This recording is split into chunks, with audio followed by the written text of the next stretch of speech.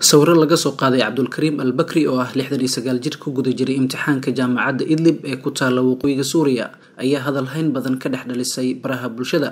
Kadib markii koox wax ku qorta twitterka ay soo bandhigeen sheekadiisa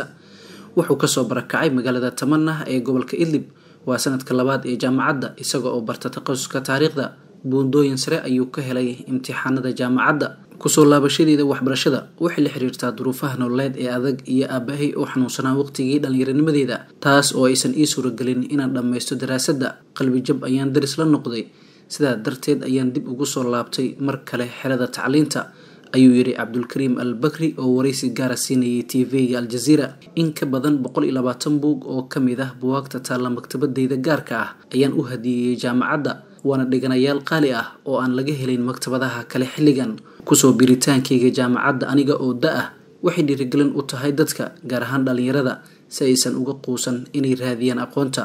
ayuu raaciyey hadalkiisa cabdulkariim al bakri sheekada al bakri ayaa ku faaftay baraha bulshada iyadoo dadkii ka faallooday ee carabka ku adkeeyeen in weli riyada dadka reer suuriya ay nooshahay. Inkastoo dagaalka ba'an barakaca iyo xasilooni darada siyaasadeed ay weli ka taagan tahay suuriya